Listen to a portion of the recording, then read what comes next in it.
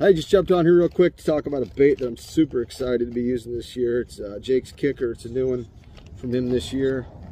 Um, tons of ways you can use it. As you can see, I've got lots of different colors. Um, a couple of ways I've used it already.